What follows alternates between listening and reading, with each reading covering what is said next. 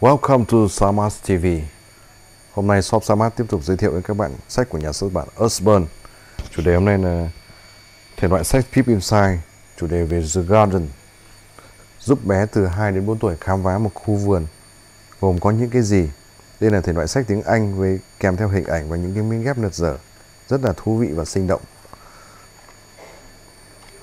Giá sách này trên Amazon chỉ giá đang giao bán là 7 bảng Anh hoặc là 12, 13 đô Canada. Cả cộng cả tiền ship nữa rơi vào về Việt Nam nó rơi vào gần 400 nghìn.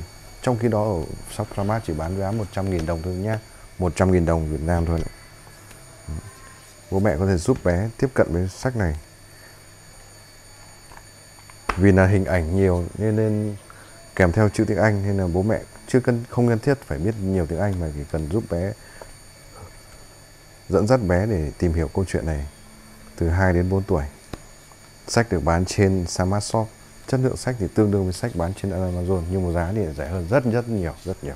Có 100.000 đồng thôi. Đây là giá dọn kho. Xin cảm ơn.